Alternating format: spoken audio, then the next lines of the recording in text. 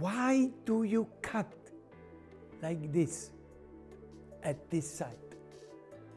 Do we need to cut? Or do we avoid a superficial cut?